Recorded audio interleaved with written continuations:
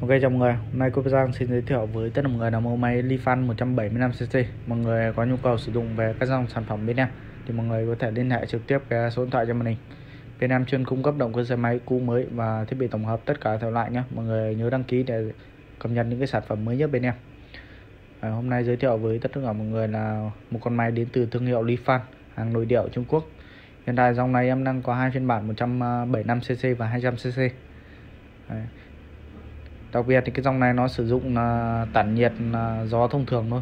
Đấy, thích hợp cho lắp vào xe ba gác hoặc là anh em lắp vào đồ chơi xe máy cũng khá là ổn nhá. Cái phụ kiện đi kèm máy thì bao gồm có bộ phụ kiện uh, cần đạp cần số và chế hòa khí. Đấy, hay còn gọi bình xăng con ấy.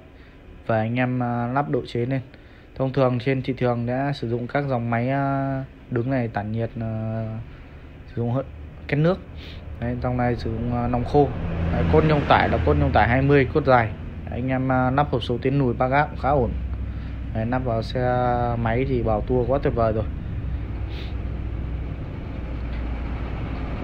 Ngoài dòng máy này thì bên em cũng có nhiều dòng máy khác nhé anh em cứ liên hệ uh, qua zalo em.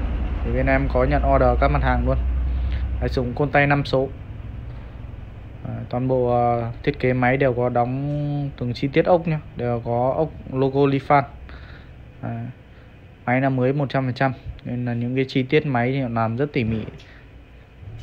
Cái dòng Lifan này thì nó có thương hiệu lớn ở Trung Quốc rồi. À, mọi người uh, liên hệ cho em thì để ủng hộ em nhé có những cái ý kiến đóng góp gì về các dòng sản phẩm thì mọi người có thể bình luận bên dưới. Đây sau đây là một số hình ảnh về mẫu máy nhé Bye.